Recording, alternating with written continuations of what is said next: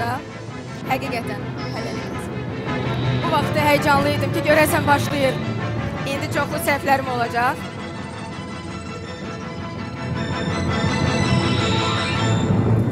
Hər vaxtınız xeyir olsun, hörmətli tamaşaçılar.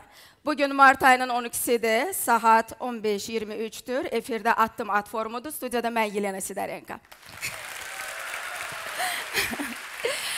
Dostlar, siz o qədər möhtəşəmsiz ki, sona qədər məni gözlədiniz. Həqiqətən çox həyecanlı idim. Dedim hamı gedəcək. Özünüzü alqışlayın və mənim də sizdən xahişim olacaq. İmkan varsa ayağa qalxın, bir əziyyət çəkin, əziyyət verim sizə. İndi kim dostu ilə gəlib bu gün əlini qaldırsın? Maşallah.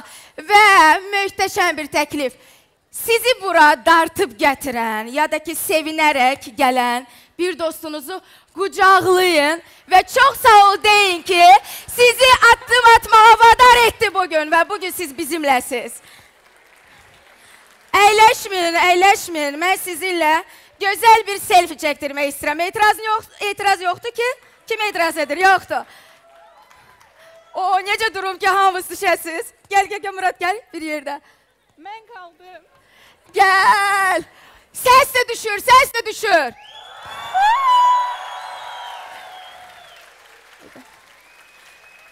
Səs zəif idi. Biraz da, biraz da.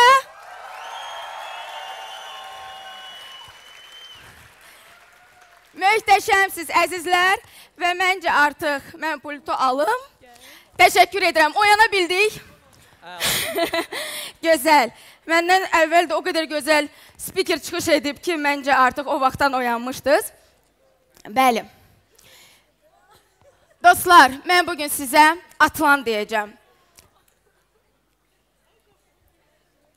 Gördüyünüz bu qız kiminsə tanıdığı, kiminsə sadəcə soyadını eşitdiyi, kiminsə isə bu gün həqiqətən də tanıyacağı bir Yelena Sidarenkadır. Aa, Yelena Sidarenko 86-cı ildə Bakıda. Bu anda özümə söz vermişəm və ilk dəfə ki ağlamayacağam. Bəli. Kasıb bir Ukraynalı ailədə anadan olur. Və nəyə görə mandarin soruşacaqsınız? Yelena mandarini çox sevir. Və bu gün də mənə versələr bütün günü mandarin yeyib səpəcəm. Çox güman ki. Amma o vaxtı mandarin almaq üçün biz atamın maaşını gözləyirdik. Yəni bu qədər kifayət qədər kasıb 8-ci mikrorayonda böyüyür Yelena. Və gördüyünüz kimi bu gün qıraqdan kimlərsə üçün çox özgüvənli, çox belə ə, əmin addımlarla gəzən Yelenanı görə bilərdiniz, amma əslində Yelenanın uşaqlığı elə dediyim 8-ci mikrorayonundakı məhəllədə ə, keçmişdi. Və Yelena ə, öz dostları tərəfindən Urus Kukuruz adlandırılırdı. Bu gün mən ə, həmin insanlara təşəkkürümü bildirmək istəyirəm. Bəlkə də kimsə bu zalda var. Bəlkə kimsə bu videonu YouTube vasitəsilə baxacaq və mən çox sağ ol demək istəyirəm ki, nə yaxşı ki siz o vaxt mənə o kukuruz sözünü dediniz və məni motivasiya etdiniz ki, qabağa getmək lazımdır. Urusa gəldikdə mən yazıq elə bir dənə deyə bilirdim ki, yəni ruska ya ukrayinka, yəni ruska, yəni ukrayinka. Mən diləş fərqi nədir? Rus, rus, kukuruz getdi. Amma bu gün hər halda biz onu bilirik. Bu fərqi anlaya bilirik bugünkü vəziyyətə görə. Bəli, bu bandit qız, gördüyünüz qız böyüyür mikrorayonda və Azərbaycan dilini bilmir. Özünü müdafiə edə bilmir. Evdə heç kim Azərbaycan dilində danışmır və təbii ki, nə baş verir? 90-cı illərdir. 90-cı illərdə mənim 4 yaşım var idi. Və ətrafımızda olan bir çox qohumlarımız, tanışlarımız, qeyri-Azərbaycanlılar Azərbaycandan köçür. Təbii ki, bu məsələ bizim qarşımıza da durur və anamın dediyinə görə mənim 4 yaşım olanda mən hönkürə-hönkürə ağladım və dedim ki, "Mamoçka, mən orada kiminlə Azərbaycan dilində danışacağam?" Bəli, bu günə kimi bu hekayə belə də olub Yelena haqqında hər yerdə. Amma gəlin etiraf edək, 4 yaşlı qız, Azərbaycan dilini bilməyən, maksimum salam, necəsən deyən bir qız və deyir ki, mən orada kiminlə danışacağam. Düşünmürəm ki, bu səmimi idi. Amma ə, hər halda demişəm və hansısa bir kök yaranıb və bu kök sonda məqsədə çevrilib və bu məqsəd yavaş-yavaş mənimlə birlikdə gedib biz köçməmişik gördüyünüz kimi. Biz Azərbaycanda qaldıq. Bəli, ə, və burada nəyi demək istəyirəm əslində? Dostlar, bu zalda əyləşənlərin arasında kompleksi olmayan insan var. kompleksi olmayan Maşallah, məncə alqışlayaq və sizinlə həqiqətən fəxr edirəm. Çünki bizim ə, həqiqətən bu gün gördüyüm ə, cəmiyyətdə böyük və çətin ən çətin problemlərdən biri də komplekslərdir və özgüvənlə bağlıdır. Aydındır. Okay, qalanlarda kompleks var, düzdür? Kimdə misal üçün xarici görünüşlə bağlı kompleks var? Çox azdır, əla, sevinirəm. Ə, kimdə dil biliyi ilə bağlı? Daha çoxdur, yaxşı. Kimdə çəki ilə bağlı kompleks var? Yox, bu gün artıq heç bir kompleksim yoxdur, variantım yoxdur. Okay. Mənim də indiyə qədər sadaladıqlarım kompleks üçün gözəl əsaslar idi. Qeyri-Azərbaycanlı, dil bilməməyim və s. və əlaxır və sonuncusu təbii ki, boy. Və bu gün mənim sizə bir təklifim olacaq. Yeri gəlmişkən deyim ki, hər il mən arzusunda idim ki, iş, e, məktəbə gələcəm və idman dərsində sonda durmayacağam. Amma hər il gəlib və sonda durmuşdum. Hər il. Bu gün sizə bir hədiyyəm var. Bu zalda əyləşənlərin arasında məndən balaca insan tapılarsa, mənim ona hədiyyəm var. Yo, yo, oynamır. 18 yaşdan yuxarı. Kim var? Gəlin. Gəlin səhnəyə. Hədiyyə də çox gözəldir, dostlar. İnkişafınıza həqiqətən böyük bir töhfə verəcək. Əla, əla, gəlin, gəlin, gəlin, cəsarətli insanlar gəlin, maşallah. aha, aha, aha, aha. Oy, səhv oldu, bəli, bəli, maşallah. Zalın yarısı özünü balaca hesab edirmiş. Mən də sizə əksini sübut edəcəm. maşallah. Hamı gəlsin, hamını gözləyirik. Görürəm ki, hələ gələnlər var. Hədiyyələrin sayını artırmaq lazımdır. Yo, yo, bu qız oynamır, dostlar. Gəlin, razılaşaq. Əla. İndi mən bir hərəkət edəcəm. Aha, kim məndən balacadır? Hamı məndən balacadır? Okey, indi cəsarətli gəlsin, zəhmət olmasın.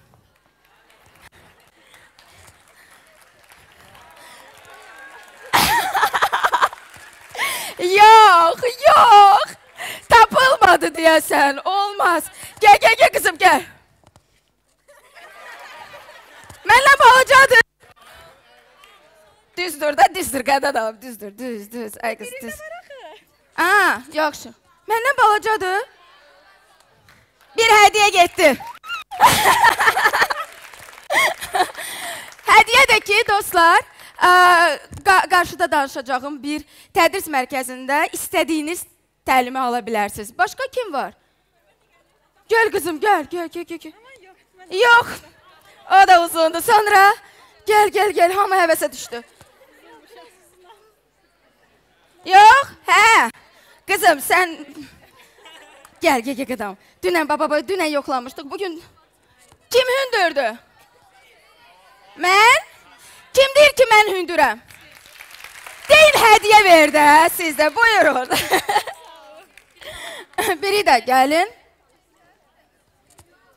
No, no, no, no, no, no. Kim? No, qızlardır. Siz əməlli başlı moda müsabiqəsinə gedə bilərsiniz, mənim yanımda. Day bitdi, gəl. Gəl, gəl, gəl, gəl. Eynidir. Hə, yoxsa yox? Mən hündürəm, mən hündürəm. Mən də hündür ola bilirmişəm. Buyurun. Dostlar, bu insanları buyurun. Kim yenə də özgüvənlidir, deyəsən hamı həvəsə düşüb. Məncə yox da. Da yox. Dostlar, bu insanları alqışlayaq. Çünki onlar bugün öz kompleksdən mübarizə üçün bu səhnəyə qalxdılar. Özünüzü, mı ayaqqabılarımı geyinim? Yenə də güya ki, hündür qəşən qızam. Təşəkkürlər əzizim. Mən özüm qəsdən hündür kablıq geyindim ki, özgüvəniniz olsun ki, məndən çox sağ olun dostlar. Təşəkkür edirəm.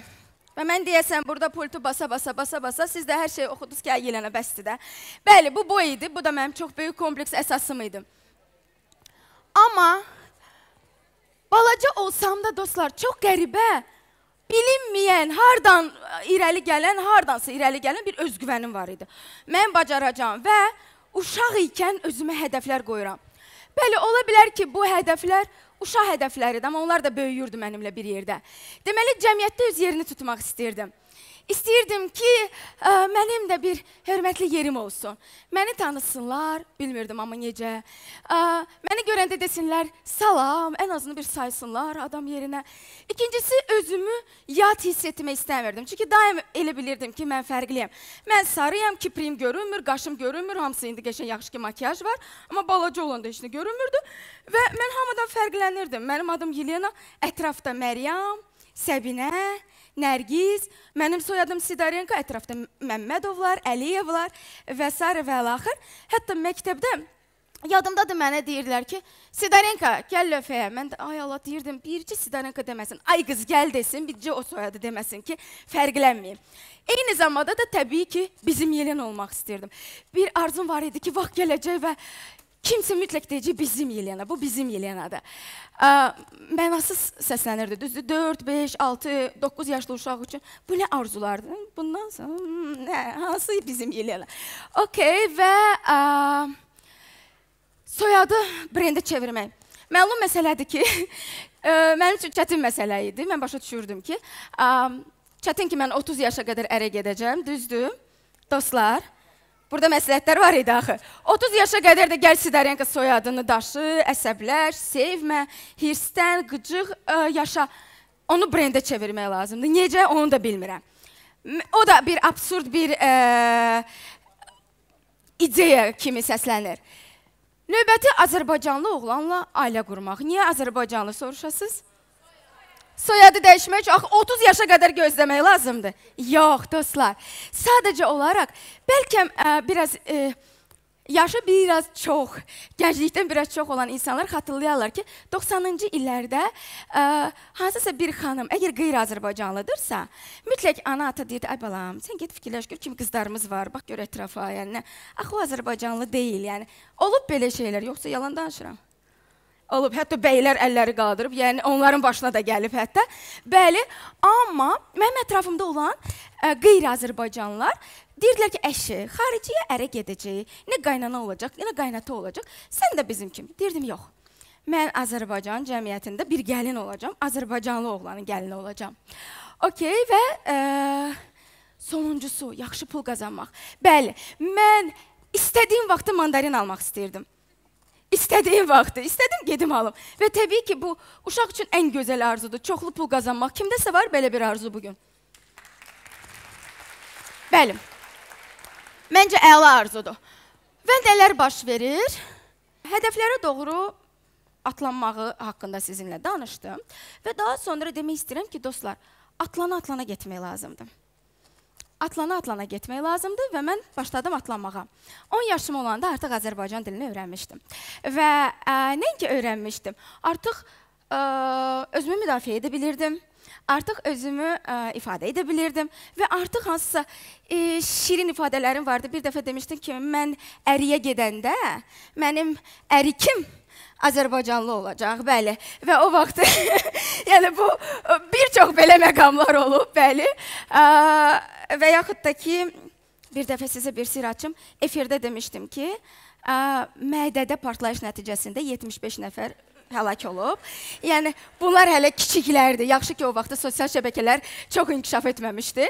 Bəli, 10 yaşda Azərbaycan dilində artıq tıtlayıram, mikrorayon söhbətlərini yaxşı eləyirəm, aparıram. 17 yaşda birdən-birə kim Yelena gəlir çıxır Aynəsə. Amma Aynəsə qədər ki yol var idi. Yadınızdadır atamı demişdim. 16 yaşda atamı itirdim. Anam getdi Urusiyetdə ki pul qazansın, borcları qaytarsın. Balaca Yelena 14 yaşla başlayır harda əvvəl başlayır öz rəqs müəllimin yanında dərs deməyə, öyrənməyə. Rəqslə də məşğul olmuşam. Bal rəqsləri ilə özü peşəkarcasına. Paralel olaraq başa düşür pul lazımdır. 14-15 universitetə təzə hazırlaşır. Və 16 yaşda harda işləyirəm sizcə? Bu gün biz deyirik office manager. Katibə işləyirəm. 16 yaşımda. Evdə atama çay vermirdim. Yəni geç kimiş uşaq idim. Yəni heç kim məni məcbur etmirdi çay verməyə, amma orada verirdim. Ondan sonra nə edirdim? Kofe satırdım. Və Kofe bankaları ilə girirdim dükanlara, belə Əhmədli, Günəşli tərəfdə deyirdim ki, bağışlayın, bəlkə kofe alasınız və belə yekə qarın kişilər deyirdi. Hə, qəşəng qız, nə kofedir, gətir görüm. Keçirdiyim hissləri təsəvvür edirsiniz. Bəli. 17 yaşda isə Yelena X-Dance müsabiqəsinə çıxır. Kimsə xatırlayır onu? Ümumiyyətlə bu zalda xatırlayanlar var. X-Dance müsabiqəsi olur. Bəli, gənclərə biraz çox yaddı. 20 illik təcrübədən danışıram. 20 illik əvvəlki dövrdən danışıram. Yelena çıxır X-Dance-a, rəqs müsabiqəsidir və Yelena nə düşünür? İncəsənətin birinci kursuna daxil olur və deyir ki, mən Azərbaycan show biznes aləmində çevriliş edəcəm. Bilmirəm hansı çevrilişdən söhbət gedir. Bilmirəm Aygün Kazımov olmaq istirdim, bəlkə Mir Yusif olmaq istirdim, bilmirəm, amma istirdim. Sonda nə baş verir? Mən müsabiqədən kənarlaşıram. Kanal rəhbərliyi gəlir ki, qızım, gəl səni işə götürürük. 17 yaşım var, nə qəşəng. Əla. Show biznes verilişi aparacağam. Hə, bu dəqiqə. Keçdim kursları, qəşəng akademiyası var idi və nə baş verir? Məni belə sözün əsl mənasında deyərdim ki, belə təpi ilə atırlar efirə. Çıx. Nə efir, nə xəbərlər. Mən pencək geyinmək indiyə qədər 20 il keçib pencəyi əynimdən çıxarda bilmirəm dostlar. Yəni necə geyindiriblərsə elə də qalıb əynimdə. Bəli. Və nə baş verir? Hamı danışır, o rus qızı var ha. Yəni də Ukraynalı, ədə rus. O rus qızı var. yəni bu siz çox maraqlı bir hadisə idi. Aynəsində o rus qızı var bomba Azərbaycan dilində xəbərləri aparır. Nə baş verir? Sidarenko soyadı artıq bir növ brendə çevrilir.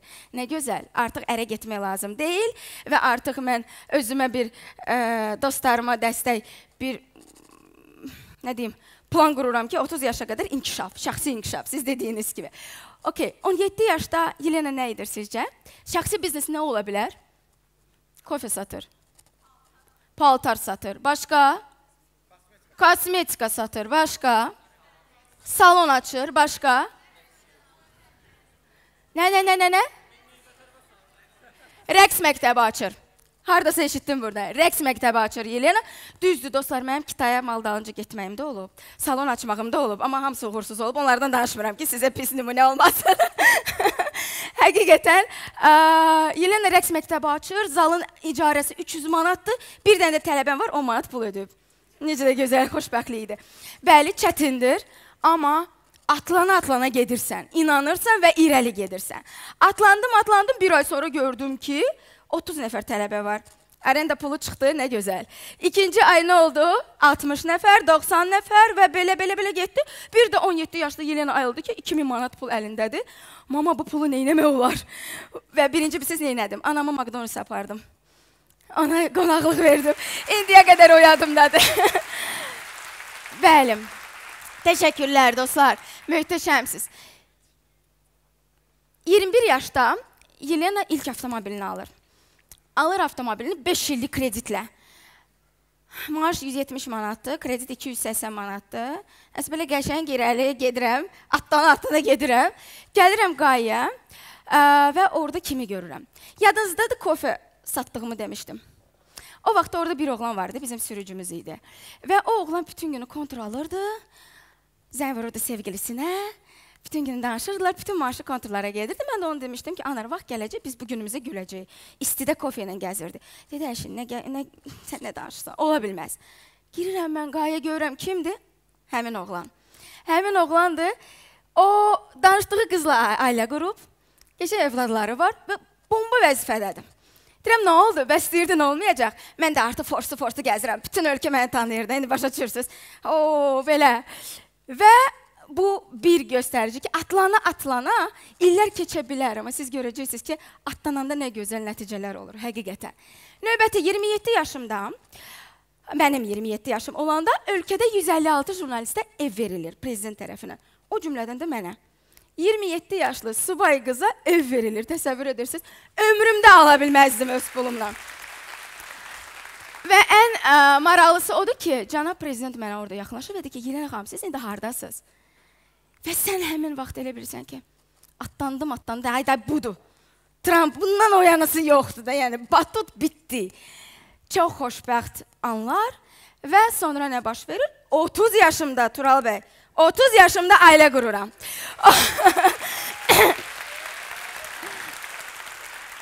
Özü dediysə, qurun, inkişaf olsa, ev var, maşın var, iş var, ad var, nə lazımdır? Artıq ailə qurmaq olar, düzdür?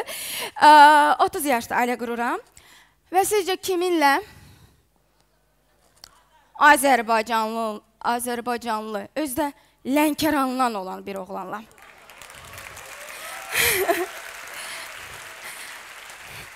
Dostlar, mənim qaynanam və baldızım başı bağlıdırlar. Və bizim evdə hər gün namaz qılınır. Və mənim qızım Allah Allah kuka deyə deyə böyüyüb. Yəni Allahu Əkbər deyib balacalıqda.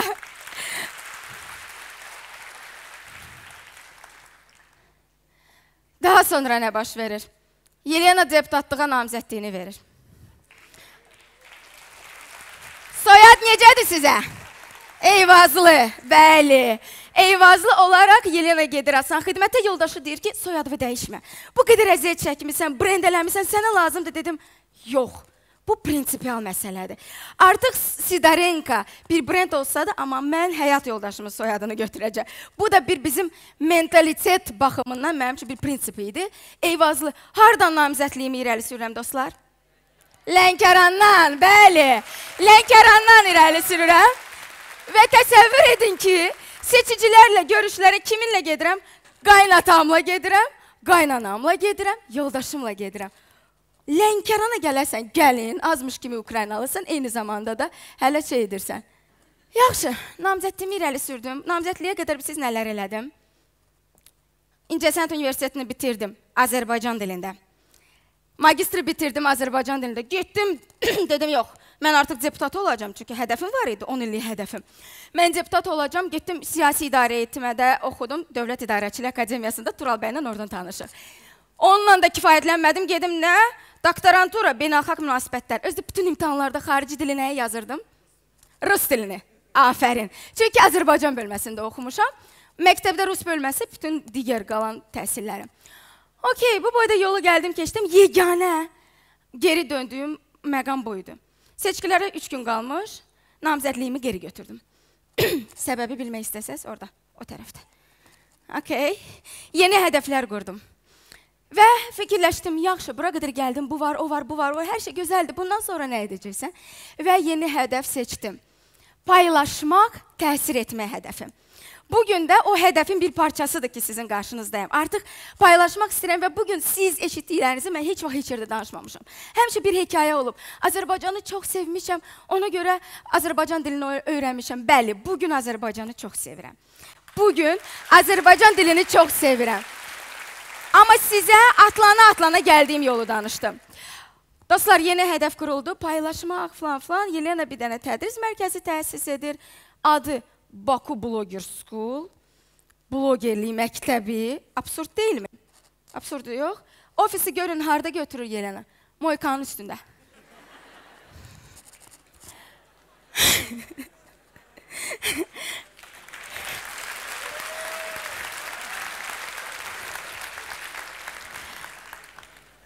Deməli, bunun iki səbəbi var. Təbii ki, təzə biznes başlayırdım, çox xərc çəkmək istəmirdim.